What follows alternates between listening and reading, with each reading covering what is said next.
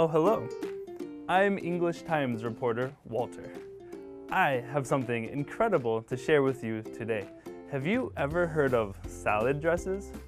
British food retailer Greggs has unveiled two salad dresses.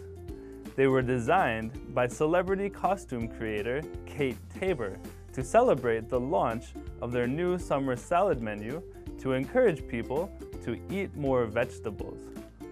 As the name indicates, they are made from salad ingredients with 5,000 lettuce leaves, 300 onions, 100 limes, 150 chilies, 80 peppers, 50 bulbs of garlic, and some tomatoes. Isn't that interesting? Join us next time and I'll have something even better to share with you.